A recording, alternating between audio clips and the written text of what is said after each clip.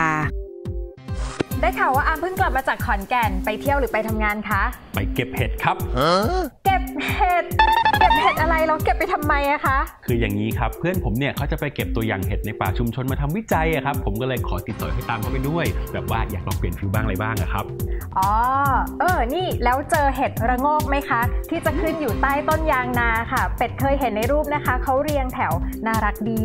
ใช่ไอที่สีเหลืองๆนี้หรือเปล่าครับ นี่ฤดูมันพอดีเลยชาวบ้านเอามาขายกันเต็มเลย แกงเห็ดละโงกอะอร่อยสุดๆเลยนะครับ จะบอกให้โหอิจฉาค่ะ ว่าแต่มีมาฝากกันสักดอกสองดอกไหมคะ พี่จะเอาไปทำอะไรครับ แค่ดอกสองดอกเนี่ย ก็อยากได้เป็นที่ระลึกอะค่ะ เอาไว้คราวหน้าครับ เดี๋ยวผมเก็บมาให้ คราวนี้นะครับผมต้องเอาไปฝากที่พิพิธภัณฑ์ตัวอย่างเห็ดรานะครับฮะคืออะไรคะ พิพิธภัณฑ์นี้รับฝากเห็ดตราด้วยเหรอคะ แน่นอนสิครับ แต่จะเป็นยังไงนั้น ไปชมพร้อม ๆ กันเลยครับ Biotech สวทช จัดตั้งพิพิธภัณฑ์ตัวอย่างเห็ดรา หรือ Biotech Bangkok Herbarium ขึ้นเพื่อเป็นสถานที่รับฝากและเก็บรักษาตัวอย่างเห็ดราแบบแห้ง ในระยะยาว มีระบบการบริหารจัดการที่ดี ผู้ฝากสามารถตรวจสอบและเข้าถึงข้อมูลตัวอย่างได้ง่าย รวมทั้งยังมีมาตรฐานซึ่งเป็นที่ยอมรับในระดับสากล ปัจจุบัน พิพิธภัณฑ์ได้เก็บรวบรวมตัวอย่างจำนวนมากกว่า 40,000 ตัวอย่าง ซึ่งตัวอย่างเห็ดรา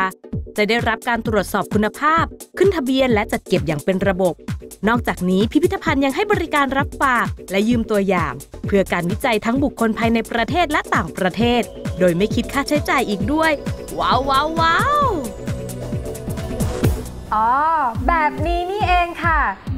ว่าแต่เพื่อนอาร์มที่เป็นนักวิจัยอะค่ะเขาทำเห็ดให้เป็นตัวอย่างแห้งแล้วเก็บไว้ที่แลบไม่ได้เหรอคะทำไมต้องเอาไปฝากไว้ด้วยอืมจริง ๆ เก็บไว้ที่แลบก็ได้นะครับ แต่ว่ามันอาจจะมีเชื้อราตัวอื่นที่ขึ้นมาในระหว่างที่เก็บ ตัวอย่างแห้งก็จะเสียใช้งานไม่ได้อีกต่อไป ก็ต้องไปเก็บกันใหม่เสียทั้งเวลาเสียทั้งเงินอะไรแบบนี้ครับ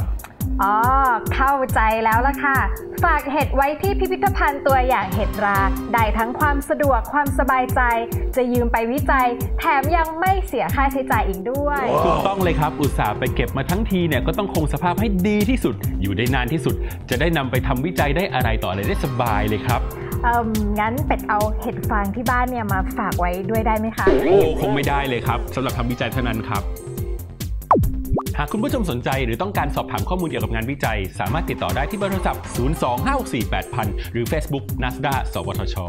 แล้วกลับมาพบกับเรื่องราวสาระดีๆ ทางวิทยาศาสตร์ และผลงานอันสุดยอดของนักวิจัยไทย ที่จะทำให้คุณผู้ชมต้องร้อง ว้าว ได้ใหม่ในครั้งหน้ากับรายการว้าววิทย์ช่วยเศรษฐกิจชาติสำหรับวันนี้เราสองคนต้องขอลาไปก่อน สวัสดีครับ